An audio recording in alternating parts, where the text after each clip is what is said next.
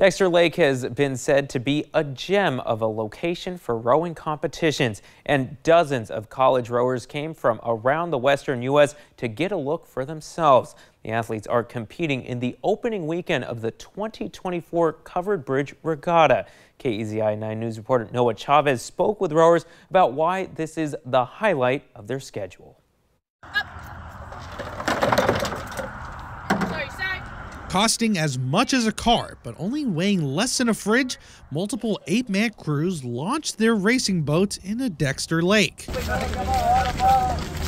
With feet certainly freezing and nerves raging, they all make their way to the start line and soon take off, starting the first race of a multi heat, multi weekend regatta. This is the Collegiate Covered Bridge Regatta. It's a part of a, this is the first of a two part weekend. We have um, basically intercollegiate teams uh, racing. Some are clubs, some are uh, you know varsity teams uh, coming from all over. And from all over they came. You had the usual suspects, the Ducks and the Beavers, but you also had UC Berkeley, UNLV, and even Washington State, just to name a few. It's different scenery, um, more of a challenge. It's also to prepare us for our regionals. Mm-hmm. Um, we wanted to get um, everybody a chance to experience a race so that we know what to expect for regionals. Uh, just representing crew, representing Cougar crew, and Washington State um, is it's going to be awesome. For over 20 years, the Covered Bridge Regatta has been a highlight for professional and collegiate teams who want perfect water conditions they couldn't get elsewhere. This is a regatta that our team looks forward to every year. Uh, we train for it starting September, uh, the beginning of fall all the way up until now. We're really excited to be rowing here. This all of the teams participating shared in a mutual respect for the Dexter Lake course and for good reason. Organizers say conditions at the lake are usually calm with little to any crosswinds, which often impact other race locations.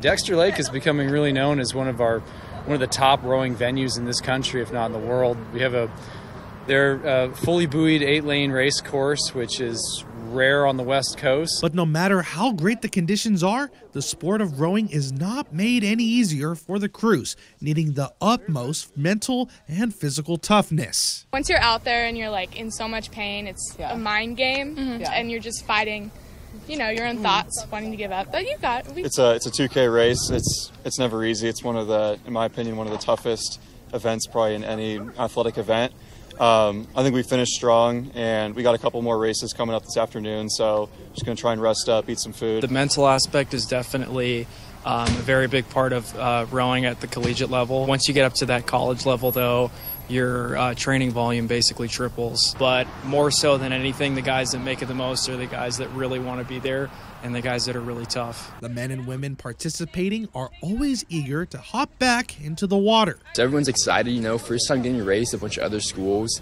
So there's definitely excitement in the water. Of course, always a little nervous. I mean, if you're not nervous, you don't care. So, um, I mean, nervous. Nervousness gets you prepared for the day, I guess. So we're going to be uh, racing our eights. Um, I'm in the 2V. So uh, for for us, we're going to be racing uh, two races it's just a never ending cycle of always learning something new on the water, and it's just a great experience overall. And with many visiting Oregon for the first time, they are still getting used to the Oregon hospitality. It's also so nice. Oh, they they're are. nice yes, to lend us boats. Everybody is so oars. kind and helpful. Yeah. We're so yeah. thankful. I take yeah. it you can't, you can't stuff a boat in, in a, a no, yeah, yeah. can't do that. The athletes say the challenge of competing and memories made and shared with each other keeps them coming back to the water. Go Cougs. Go Cougs. Go Cougs. Go Beavs. One, two, three. Ducks. Four, five, six. Family. One, two, three. Rebels. Reporting at Dexter Lake, Noah Chavez, KEZI, 9 News. Noah, fantastic job as always. Thank you very much.